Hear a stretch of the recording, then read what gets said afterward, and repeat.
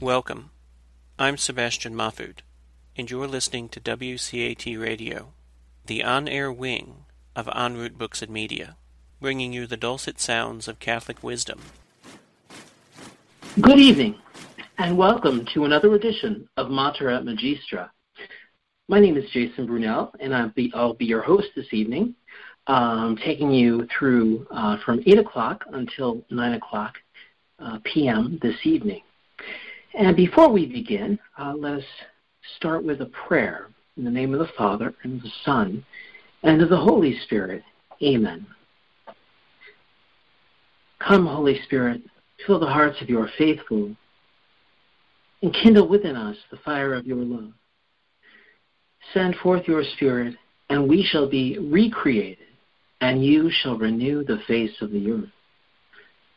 O God, who did instruct the hearts of your faithful people by sending into them the fire of your divine love, grant that we may be inspired by the Holy Spirit, that we may be filled with his gifts of knowledge, of wisdom, understanding, fortitude, piety, fear of the Lord, and counsel, in order to manifest all of the fruits of the Holy Spirit and to bring the presence of Christ into the lives of every person we encounter this day and every day of our lives as we make every effort to fully cooperate with your grace and to be other Christs to every person we encounter. And this we ask in the name of the same Christ our Lord, and through the all powerful and never failing intercession of the Immaculate Virgin Mary. Amen. In the name of the Father, and the Son, and the Holy Spirit. Amen. All right. I was uh, reading through some articles uh, a few days, actually, a few weeks back, and um, in preparation for this show, I had come across a series of, uh, or I come across one article, and it, it prompted the idea for uh, a show or a series of shows on this whole issue um, of of the the, the various um, scandals that are plaguing the church at this time. Um, those who m- may be listening to this show, I'm sure, are very familiar with um, the Dubia Cardinals, um, of whom uh, Cardinal Burke is probably the most prominent, certainly the most prominent for us here in America, as he is an American uh, cardinal, and um, he was for a very uh, for, for a, a long time the um, uh, he was uh, he held many prestigious uh, posts uh, within the church. Um, um, among them was uh, the, I believe he was the uh, oh, uh, the spiritual director of sorts for the, um, the, I believe it was the Knights of Malta, and um, which is a very prestigious organization within the Catholic Church. And um, and I, I believe um, I believe he was demoted uh, by Pope Francis uh, and um, removed from that uh, position. Um, but we know uh, Cardinal Burke is is, a, is is an amazing example of orthodoxy, uh, of um, teaching the truths of the faith, um, adhering to the the official, authentic, all of the authentic teachings of the faith.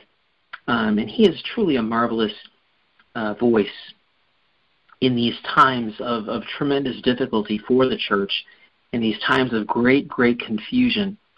Um, with uh, with Pope Francis uh, making statements uh, and assertions uh, regarding the faith that leave many questioning what the authentic teaching of the church is in many different areas. Um, Pope Francis has come out with assertions that, uh, on one occasion, he stated, "No one can be condemned forever," uh, uh, and and um, when further pressed on the issue, he, uh, he, he he provided an explanation of of spiritual annihilation.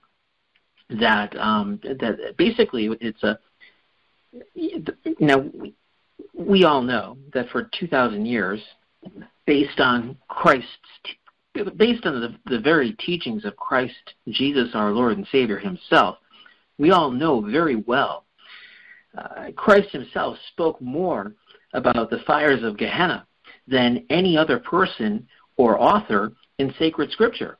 Uh, so it, clearly, our Lord uh, makes it very, very clear that that for those who uh, refuse to be obedient to the eternal Father, uh, for those who, who refuse to to cooperate with with God's eternal law of, of divine love to love God with one's whole heart, soul, strength, and mind, and to love one's neighbor as oneself. And granted, we will all fall short because we are sinners, of course. But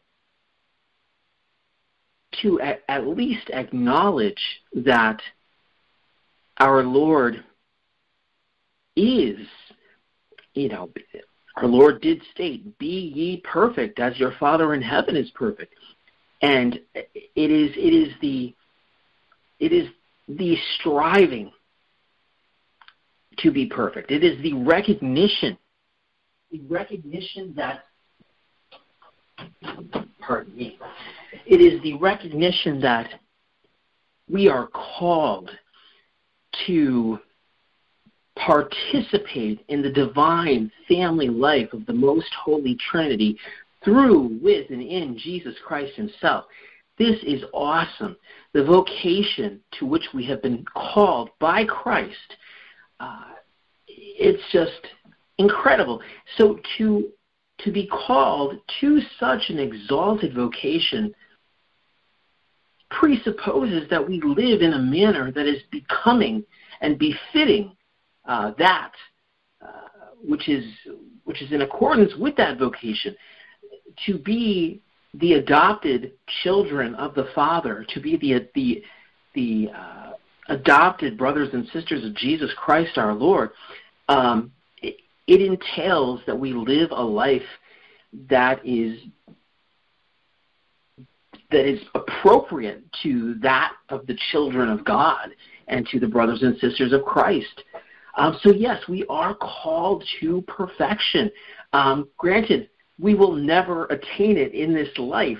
Uh, well, actually, that's a, that's, a, that's a question that should be reserved for uh, the uh, probably for a, a, Carmelite scholar uh, who who uh, someone like Father Thomas Dubay.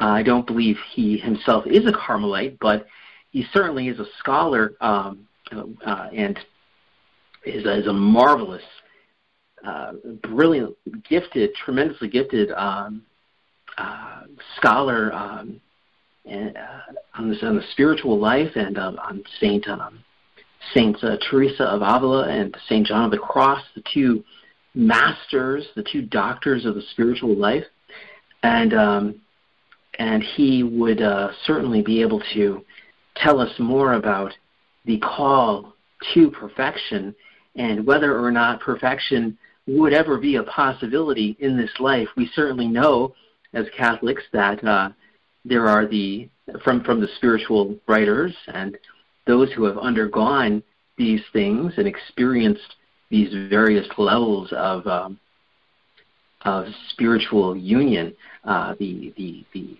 first stage of, of purgation the purgative way, uh, the second stage of illumination, the illuminative way, and then the uh, third and final stage of transformation or the transformative way or the unitive way.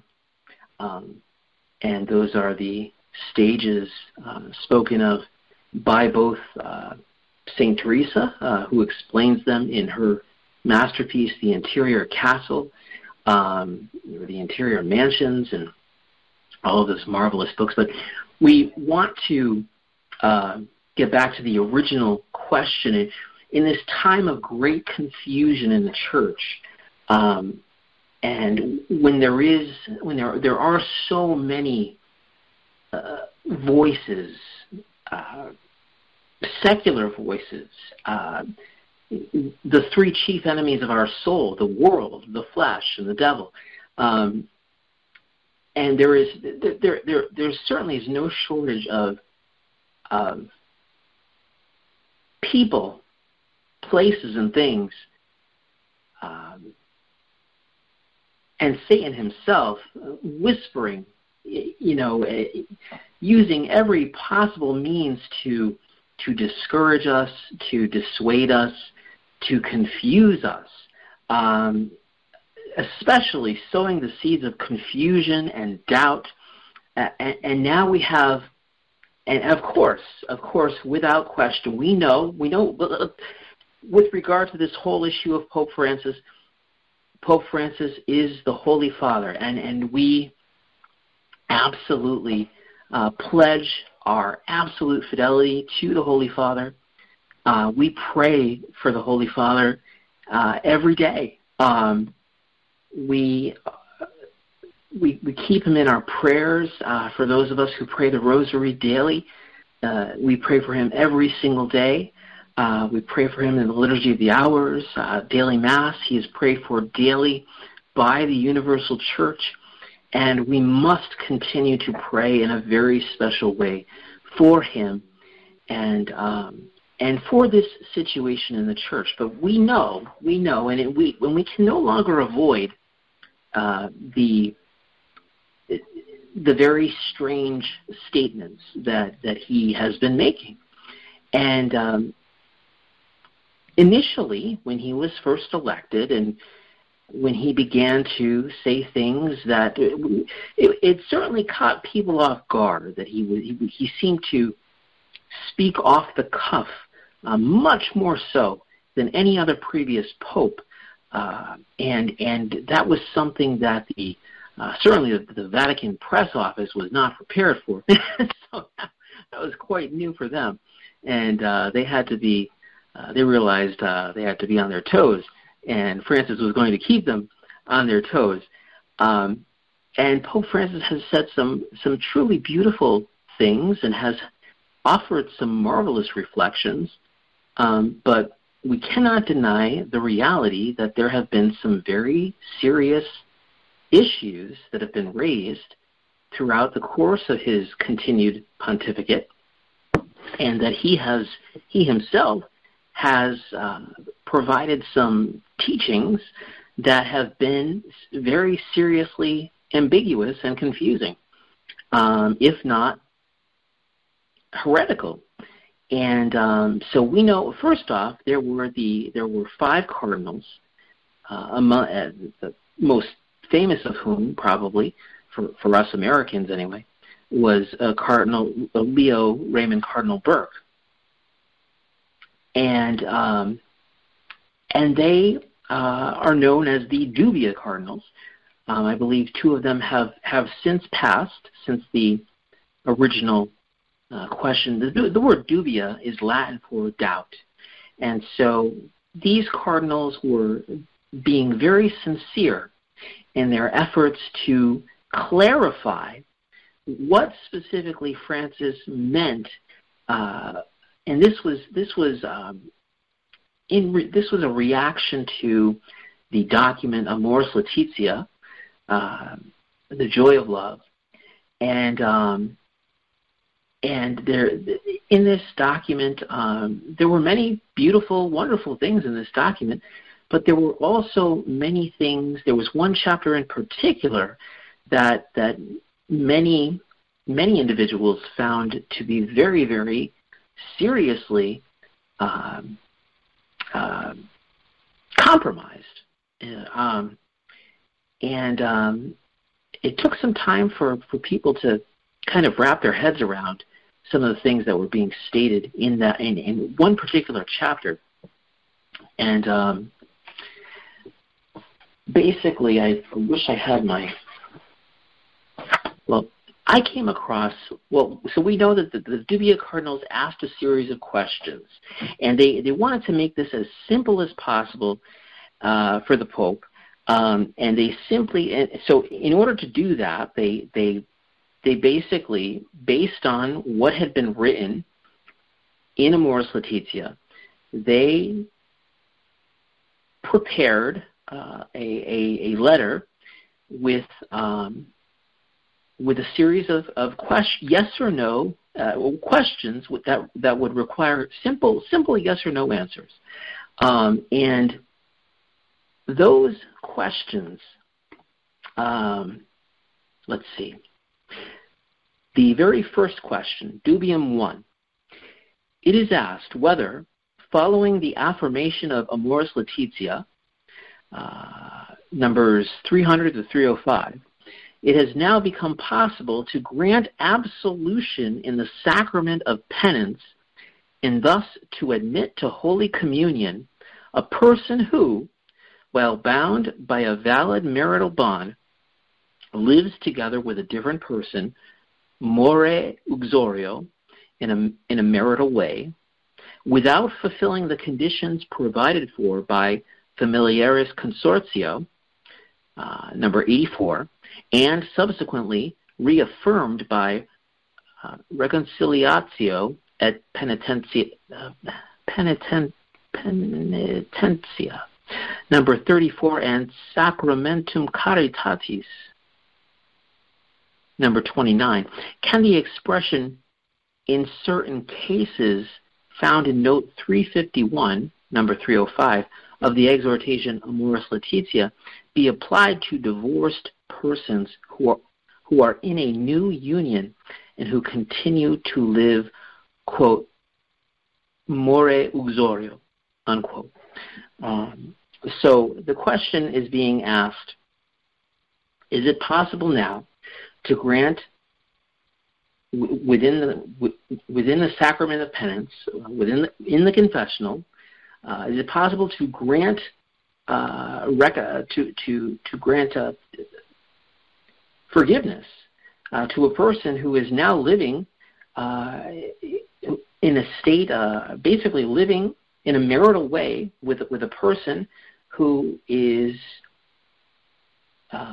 not their not their spouse. Uh,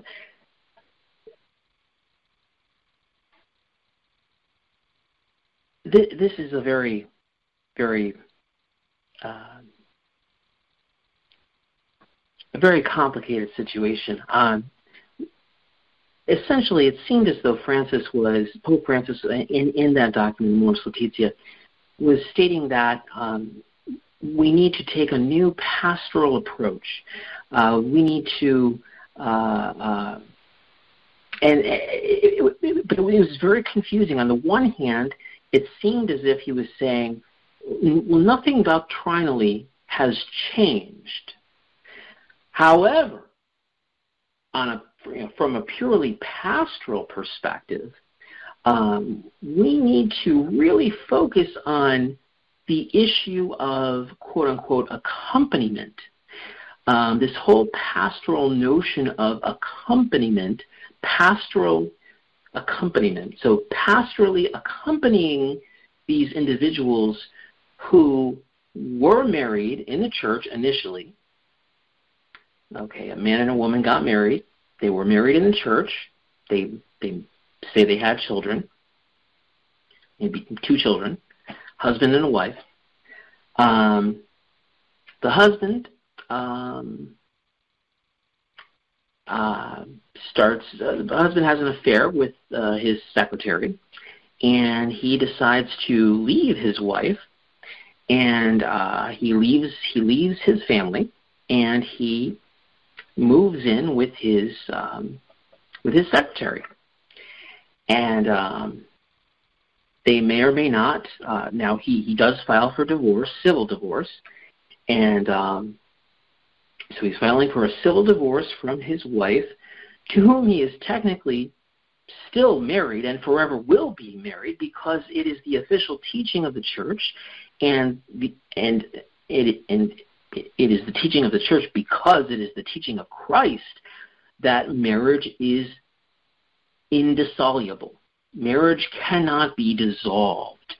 Once once once two people are united, what God has united, let no man divide no no human person can undo a union that God establishes and fixes and creates, and it, simply cannot be cannot be undone. Um, Christ our Lord Himself, um, when the scribes and the Pharisees, uh, in, in, an effort to trip him up, uh, posed the question to him. Um, you know, well, Moses uh, granted uh, provisions for uh, for divorce. Uh, you know, is, is is divorce a possibility? Hoping that, knowing that, regardless of how whether whether his response was yes or no, um, they could use it against our Lord. Um, given that uh, originally uh, of course, everybody knows that divorce was forbidden originally, and that um, uh, because of the the hardness of the hearts of, of the people, uh, Moses was given permission to to to allow for uh, exemptions, uh, exceptions, and, and to.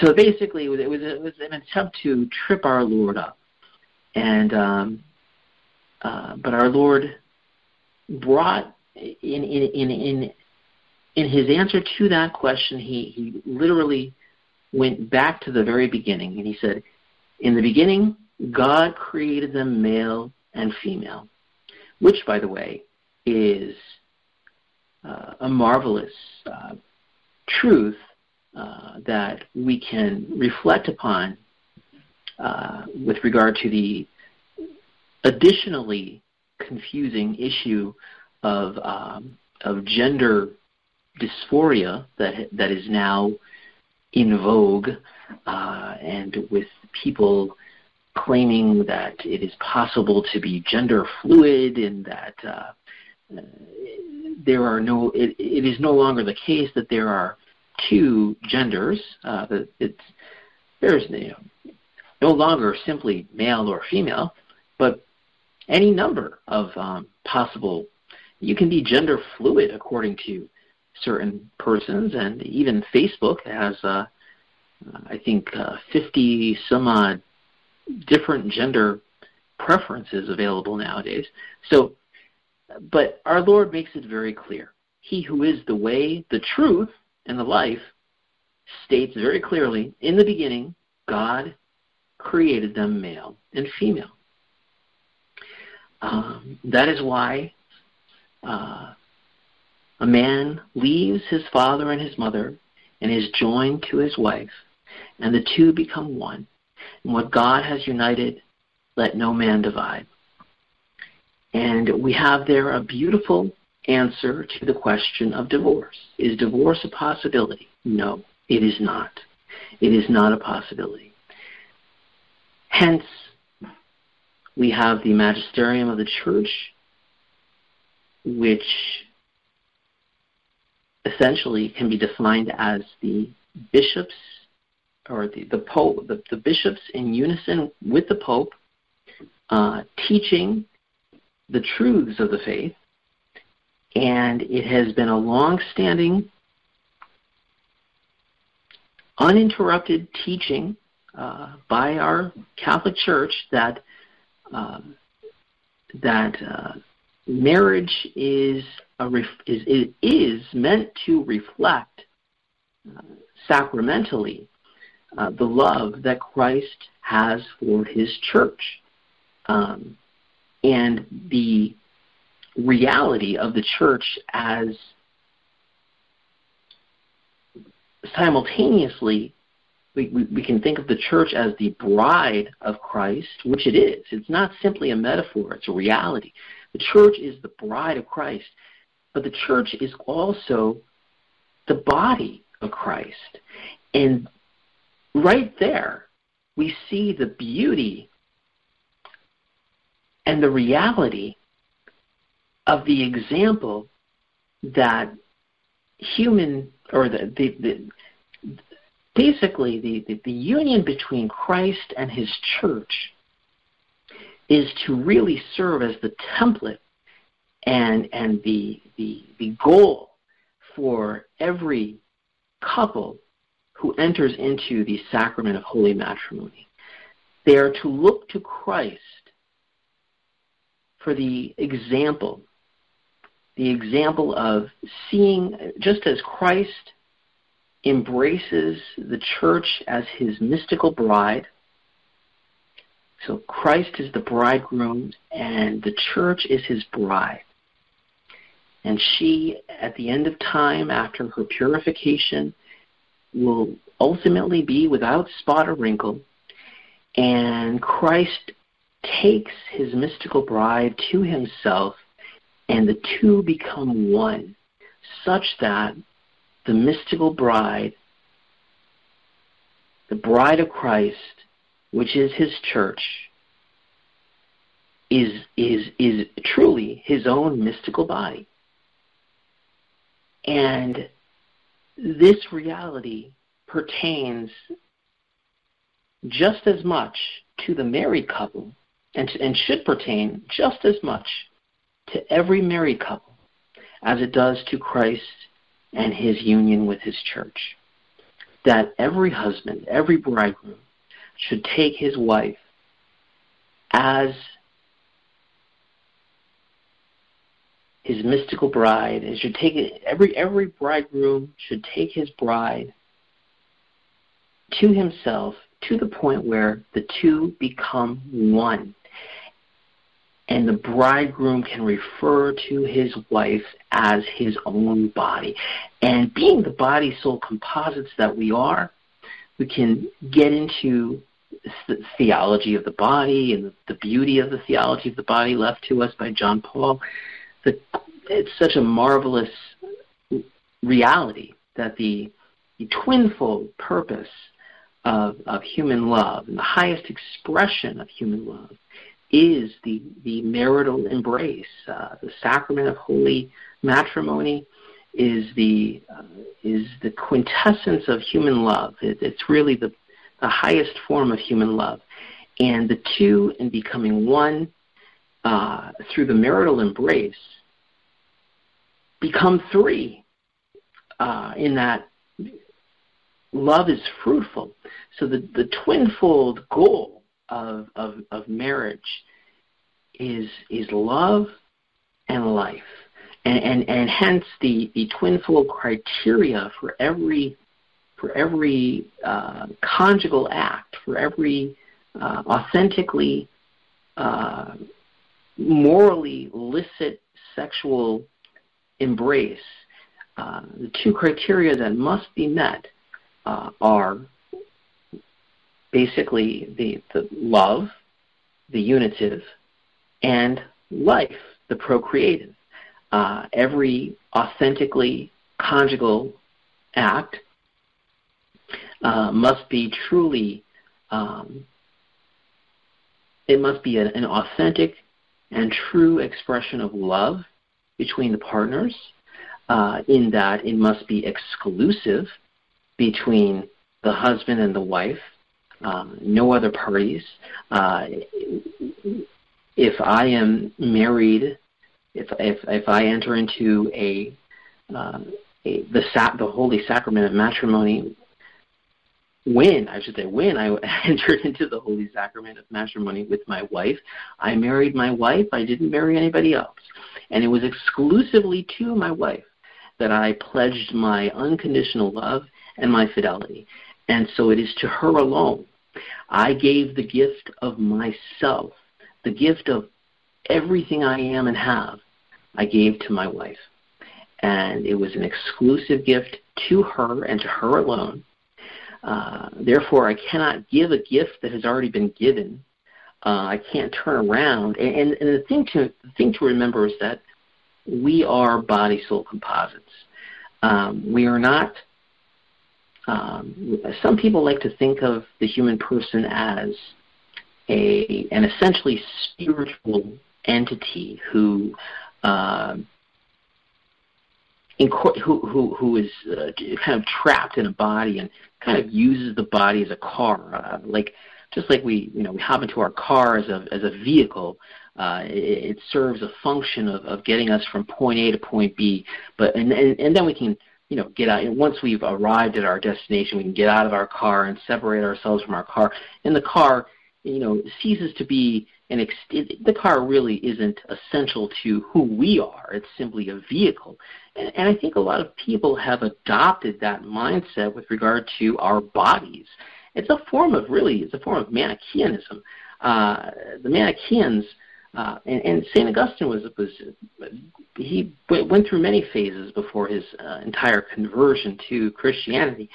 But uh, for a period of time there, he was Manichaean, and the Manichaean idea is that it is possible to uh, well, it's really more of a there's a there's a there's a it's a, it's a dichotomous binary essentially. You have the body uh, in the world of matter, of which the body is a part, and that's so there, there's a there's a good God who is the God of this of a good God who is the God of spirit and soul and thought and idea.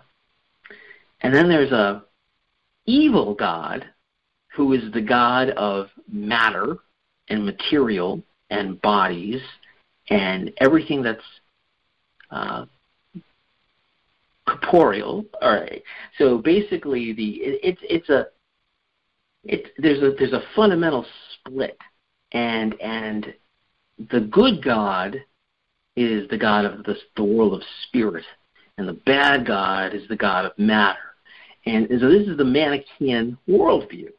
And um, so anything that would be uh, anything that would involve uh, the body um, or pleasures having to do with with uh, sensual experiences of the body of the flesh um, would all kind of fall into that uh, from that perspective. They all kind of fall into that um, evil category where they would not be considered uh, acceptable or, or, or good. Um, and we, we, as, we as Christians know that that is simply not the case.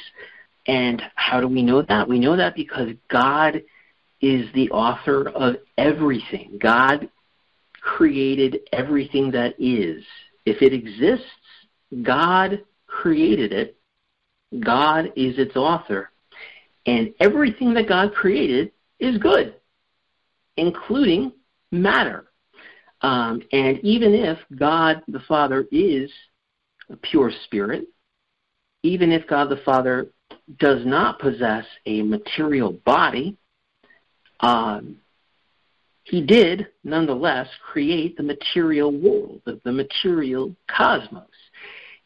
And the material cosmos is good because it is part, it is God's creation.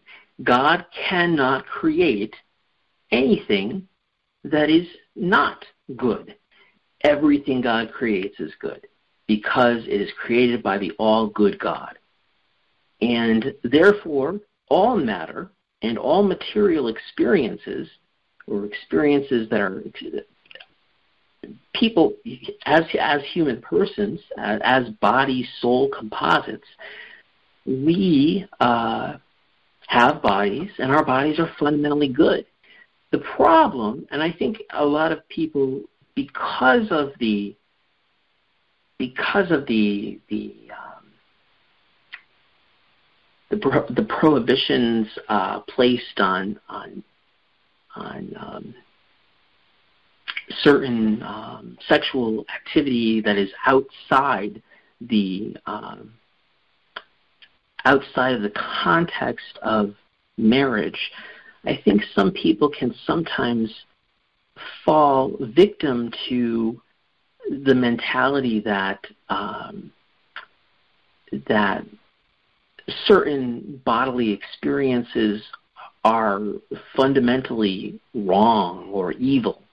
Um, that the experience of being physically attracted to to uh, another human being, um, uh, uh, you know, of the of the of the opposite sex, that that that that attraction in and of itself is it almost becomes for some people um, synonymous with sin, um, and and that should really should not be uh, because it's a completely natural, normal thing. The problem, and the, I think the reason that happens, is because of the effects of original sin that we still must contend with. And that's an unfortunate reality that every single one of us must contend with. The unfortunate consequences uh, of original sin, which are, uh, to list them, uh, well, first and foremost, uh, obviously, is the the, um, well, the there are four fundamental relationships that are severed. There's the relationship between um, the human person and his creator. Uh, so that that that that's that's the most dire consequence of original sin, and that is precisely what baptism uh, uh, rectifies. Uh, the baptism, the sacrament of holy baptism, is received by the infant um, in order that the infant might be restored to God's divine friendship so that the indwelling presence of the Holy Trinity might be restored to that child and uh, thereby putting an end to the privation or the privation being defined as the lack of something that ought to be. Uh, the, so, in, this, in the case of um, baptism, um, the privation of, of, of, of being born in a state of original sin is being born without the indwelling presence of the Most Holy Trinity as the soul of one's soul.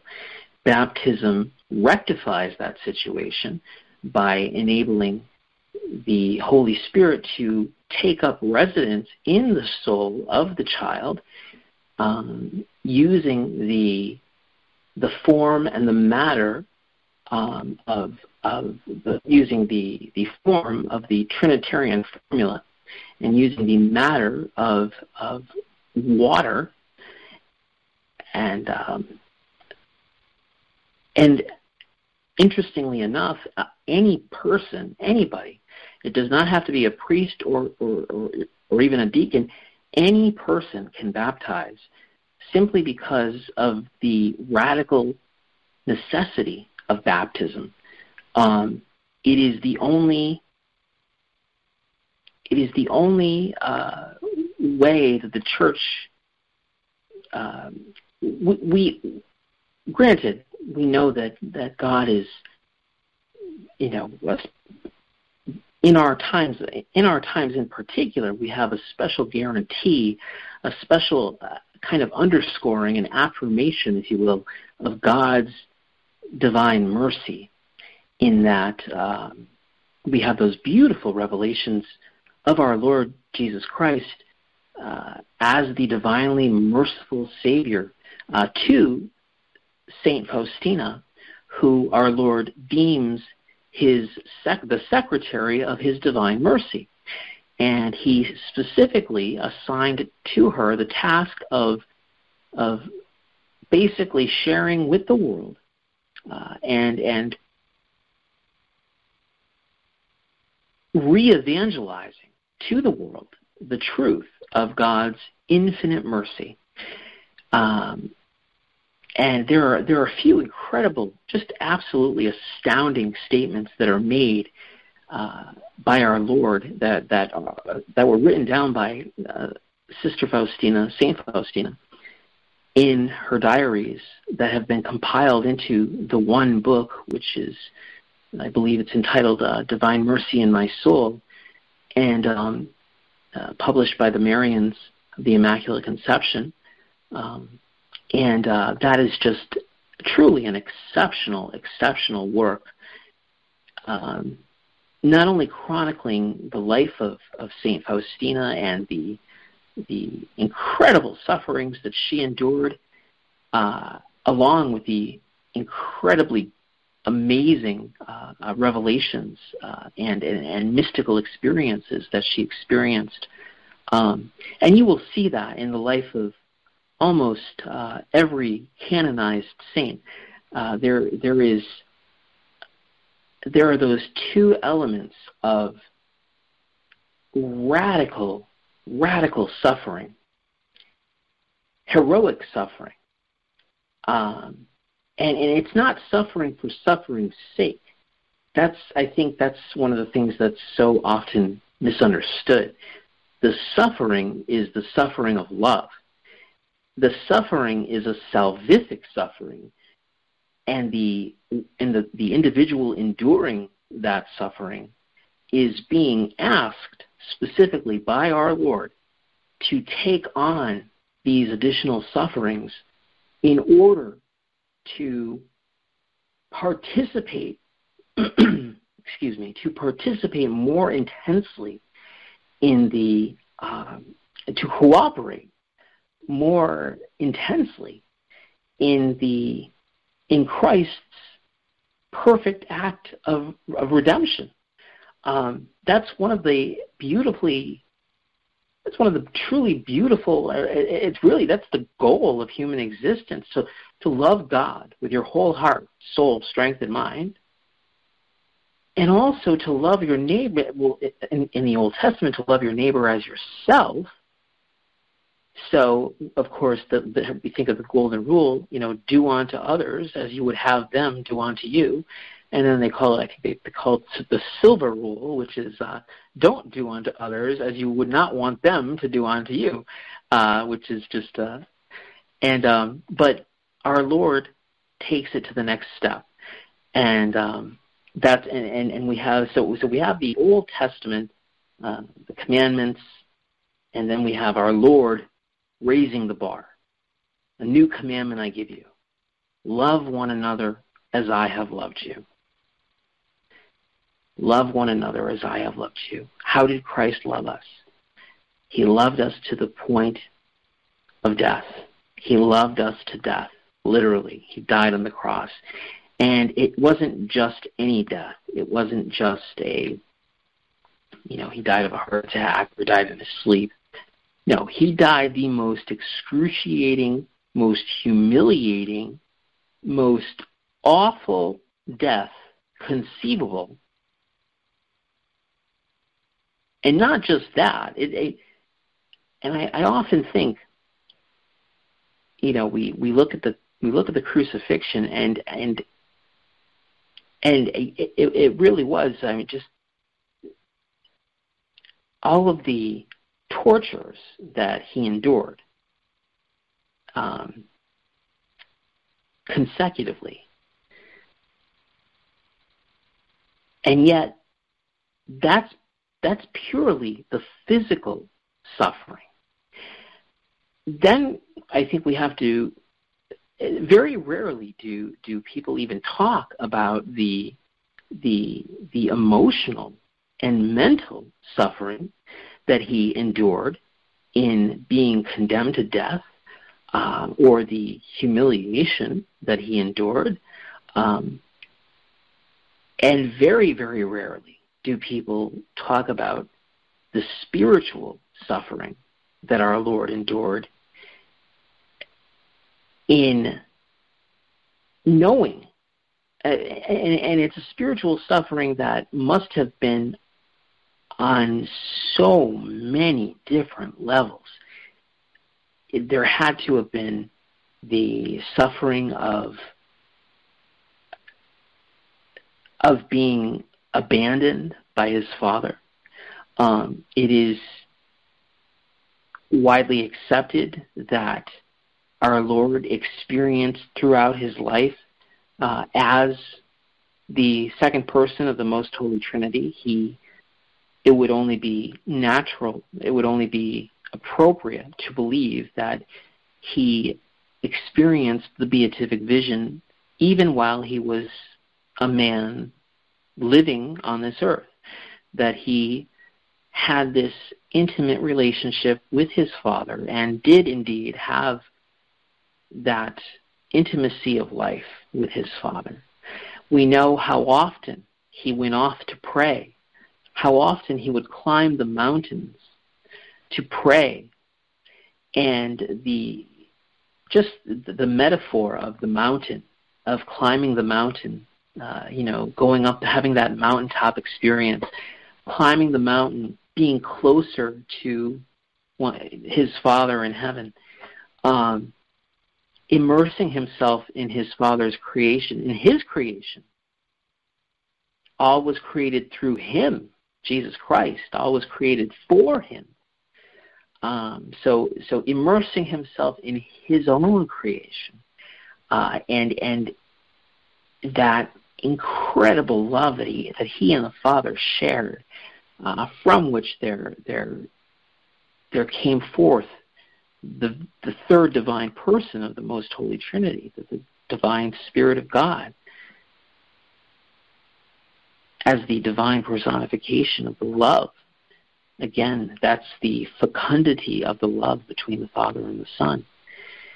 And um, but the so the pain of of losing that vision of the Father during the crucifixion, during the whole process, sort of beginning at the end of the Last Supper, beginning um, in the Garden of Gethsemane, where our Lord enters into the anguish that begins his passion. Um, but before we have to conclude the show, I would like to uh, share with the article that I came across. Um, we started off the show talking about the controversial remarks that have been made by Pope Francis that have led to uh, to say that it's led to confusion is to put it very mildly. It's led to tremendous confusion, and you have people. Um, it, there's the, I've, I've never seen such division in the church. Um, you have the the pro Francis, pro Pope Francis people lining up behind Pope Francis, um, who who are you know, just because we, we know that Pope Francis has uh, has come out in support of uh, basically in Amoris Laetitia. Pope Francis comes out in support of individuals um, in any number of situations who who um, are living as husband and wife, yet have not either either do not have the sacrament of holy of of, of, of holy holy matrimony because they either are there could it could be a situation of cohabitation. Uh, we know that Pope Francis came out and stated uh, publicly that um, certain couples uh, do have certain couples who are not married but who are living uh, more uxorio, I believe is the uh, uh, living as husband and wife, more uxorio, um, couples who are living as husband and wife but who have not entered into the holy sacrament of matrimony, not even civilly. Uh, the Pope went so far as to say that that many, many, some or many of those couples do have the sacrament. I mean, not sorry, they do have the, the, the graces of the sacrament of holy matrimony, and he shortly thereafter uh, questioned whether certain couples who were indeed sacramentally married, um, he, he, questioned the, the legitimacy of, of, of, of, of actual marriages. So it, was just very, very odd. So I came across this article, and I, I just had to share this because this is an article um, it appeared in the Catholic Thing. Um, it is by Elizabeth A. Mitchell, and the title of this article is The Dubia Were Answered. And I'm just going to read it because it's such a great article. Um, it's very, it's relatively short, and uh, but it's it's fascinating. Um, it was uh, published on Saturday, May 11th of this year, and it begins. Perhaps it was because Notre Dame in Paris was burning. Perhaps it was because the best place to hide something from view is in plain sight. Or perhaps it was because we look for power in wind, earthquake, and fire, but miss the, quote, still small voice, unquote, of God when he passes by. Taken from 1 Kings uh, chapter 19, 11 through 13. Whatever the reason, the world watched, read, and missed the answers to the dubia proposed by Pope Emeritus Benedict XVI in his April essay, quote, The Church and the Scandal of Sexual Abuse, unquote. In offering a three part response to the crisis in the Church, Pope Benedict indirectly answers the five dubia that Cardinals Brandmüller, Caffarra, Meisner, and Burke presented years ago to Pope Francis.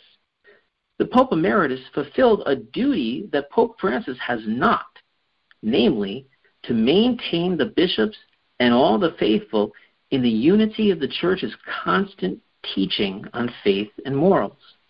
What did the Pope Emeritus say? He gives the Church and the world an unequivocal no, yes, yes, yes, and yes Five questions, five answers. Dubium 1.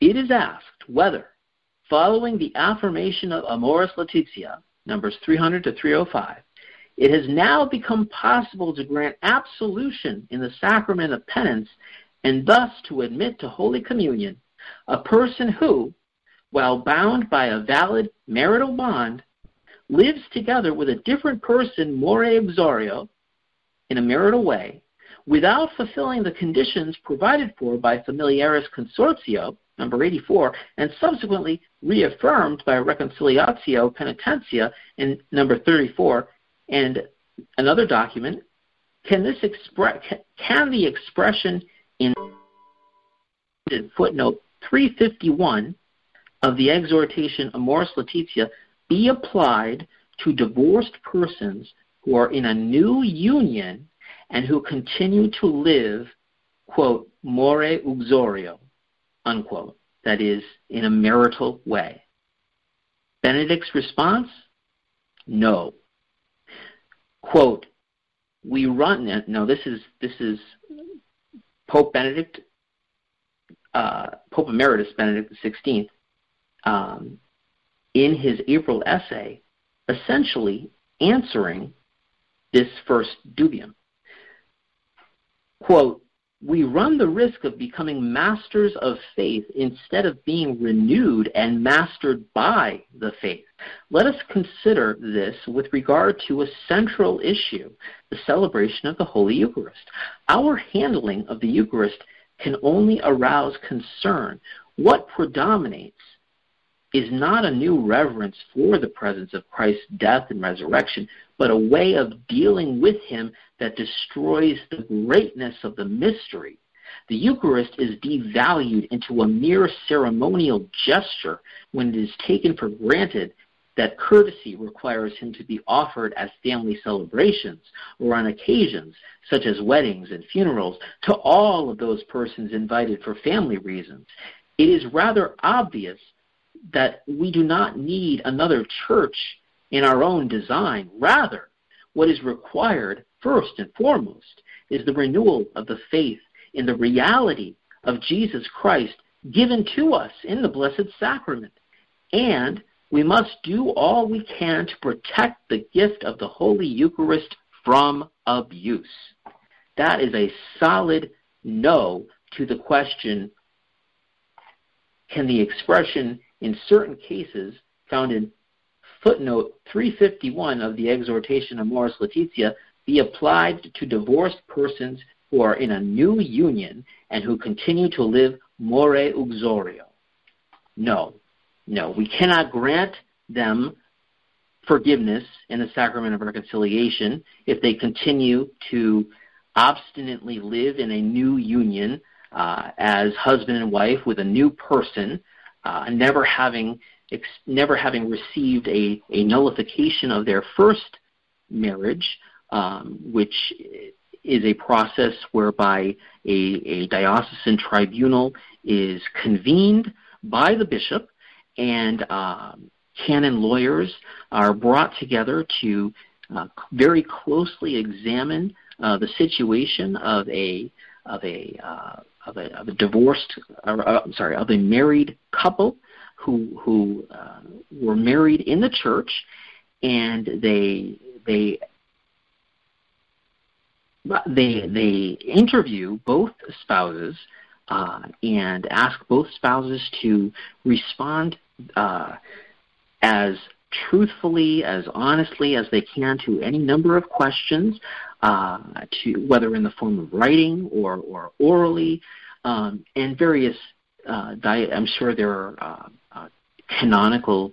Uh, I'm, I'm, certain there are canonical uh, regulations that um, surround the whole process of, of um, seeking an annulment or the process of a diocese um, reviewing uh, the situation of spouses who are seeking an annulment. Um, and really, the only way an annulment could be granted would be if uh, it was determined that one or both spouses, um, at the time they entered into uh, the sacrament of holy matrimony, uh, if it was the case that, that one or both of the spouses uh, was not acting with either full knowledge or full consent of the will. Um, if they were not acting uh, with full freedom, um, if there if there were any any number of circumstances that uh, if if if if there were if there was a pressure being exerted upon one or one or more of the one or one or one or both of the spouses, um, basically, in order for a marriage to be uh, a true marriage, both spouses have to enter into it freely. Um, they both have to enter into it uncoerced. Uh, they have to enter into it with full knowledge of what the expectations of the Holy Sacrament of matrimony entail. Um, that it is a lifelong uh, commitment. Um, that it is meant to be lived out, uh, as I stated at the beginning of the show, uh, the, the, uh, using the image of, of Christ and his relationship to his church, which is his bride. Uh, which ultimately is also his own mystical body. And that, in my estimation, is the ideal of holy matrimony. Christ uh, taking his mystical bride and, or I should say, Christ embracing his mystical bride as his own mystical body. That is the, the goal of, of all sacramental holy matrimony. So Benedict provides a no to the first dubium. No, we cannot grant absolution to those who have no intention putting an end to a new relationship uh, with a new partner. Um, no, we cannot allow, grant absolution and and subsequent subsequently allow permit that person to receive Holy Communion. No. So that is the first. And moving on with the article, trying to finish this before the show comes to an end. Dubium two. After the publication of the post synodal apostolic exhortation Amoris Laetitia, cited from number 304, does one still need to regard as valid the teaching of St. John Paul II's encyclical Veritatis Splendor, number 79, based on sacred scripture and on the tradition of the Church on the existence of absolute moral norms that prohibit intrinsically evil acts and that are binding without exceptions. Benedict's response, yes. Pope John Paul II. Now, this, is, this again is Benedict, uh, Pope Benedict, Pope Emeritus Benedict XVI speaking here. Yes, we do. Uh, we must insist. Let's see here. Based on sacred scripture and the tradition of the constant teaching and tradition of the church, we must insist on the existence of absolute moral norms that prohibit intrinsically evil acts and that are binding without exception. And Benedict's response is, quote, Pope John Paul II, who knew very well the situation of moral theology and followed it closely, commissioned work on an encyclical that would set these things right again. It was published under the title Veritatis Splendor and did indeed include the determination that there were actions that can never become good. He knew that he must leave no doubt about the fact that moral I'm sorry, I'll repeat that. He knew that he must leave no doubt about the fact that the moral calculus involved in balancing goods must respect a final limit. Response yes. Uh, we must insist on the existence of absolute moral norms that prohibit intrinsically evil acts and that are binding without exception. Dubium 3. After Amoris Laetitia, number 301, is it still possible to affirm, this is Dubium 3, after Amoris Laetitia, is it still possible to affirm that a person who habitually lives in, in contradiction to a commandment of God's law, as, for instance, the one that prohibits adultery, cited from Matthew uh, chapter 19, uh, verses 3 through 9, finds him or herself in an objective situation of grave habitual sin. So, is it still possible after Amoris Laetitia to affirm that a person who lives habitually in contradiction to a commandment of God's law, for instance, the law that prohibits adultery,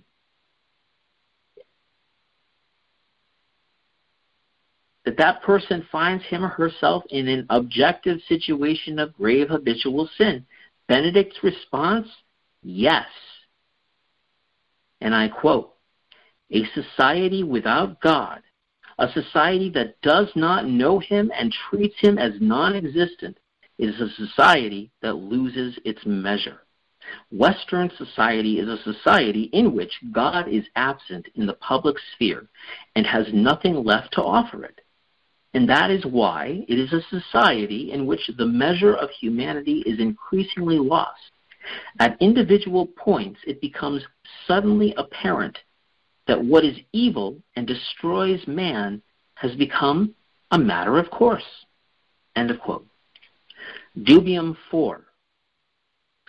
After the affirmations of Amoris Laetitia, number 302, on, quote, circumstances which mitigate moral responsibility, unquote, does one still need to regard as valid the teachings of Pope St. John Paul II's encyclical Veritatis Splendor, particularly number 81, based on sacred scripture and on the constant tradition of the church, according to which, quote, circumstances or intentions can never transform an act intrinsically evil by virtue of its object into an act, quote unquote, subjectively good or defensible as a choice. So basically, the question is do we still need to regard as valid John Paul's teaching that regardless of the circumstances or the intentions, uh, that there are certain objects that are always, well, basically, yeah, based on according to which circumstances or intentions can never transform an act that is intrinsically evil by virtue of its object into an act that is subjectively good or defensible as a choice?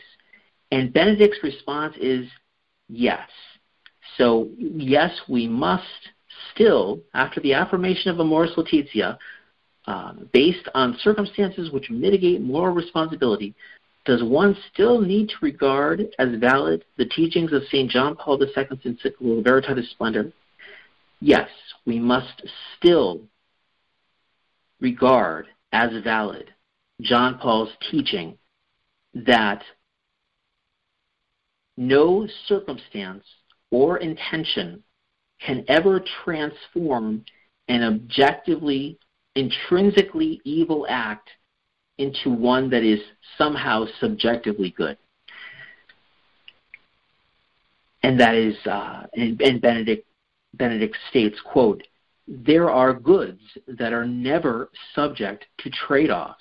There are values which must never be abandoned for a greater value and even surpass the preservation of physical life.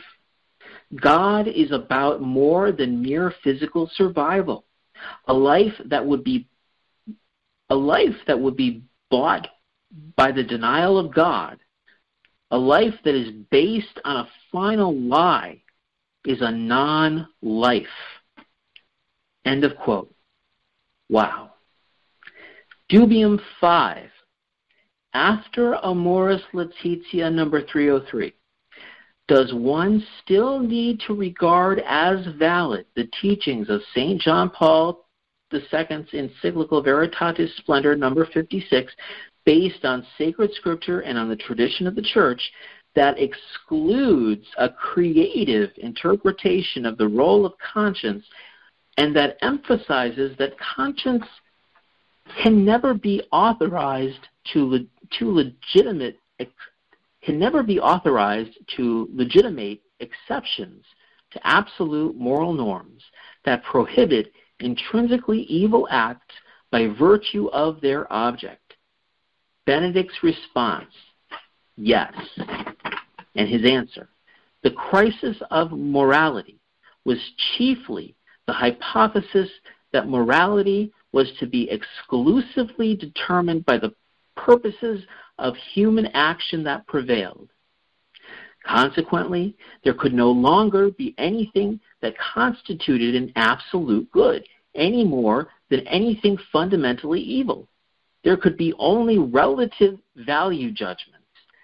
There no longer was the absolute good, but only the relatively better contingent on the moment and on the circumstances. But there is a minimum set of morals which is indissolubly linked to the foundational principle of faith and which must be defended if faith is not to be reduced to a theory but rather to be recognized excuse me but rather to be recognized in its claim to concrete life. All this makes apparent just how fundamentally the authority of the church in matters of morality is called into question those who deny the church a final teaching competence in this area force her to remain silent precisely where the boundary between truth and lies is at stake. End of quote. Benedict's response ends the deafening silence with regard to the fundamental questions of faith addressed by the dubia. He answers them clearly and unequivocally. He knows the hour is late. Benedict warns us that, quote, the very faith of the church, unquote, is being called into question. Quote, it is very important to oppose the lies and half truths of the devil with the whole truth. Yes, there is sin in the church and evil, but even today there is the Holy Church, which is indestructible. Today God also has his witnesses, his martyrs in the world. We just have to be vigilant to see and to hear them. And that concludes the article by Elizabeth Mitchell. I'd like to thank Elizabeth Mitchell for her astute observations and for this incredible recognition and contribution. And that concludes our show for this evening. I'd like to thank all of you who might be listening tonight. I ask our Lord's abundant blessings upon you. And I ask Our Lady to enfold you in her holy mantle and to take you and to keep you in the refuge, the safe refuge of her most immaculate heart.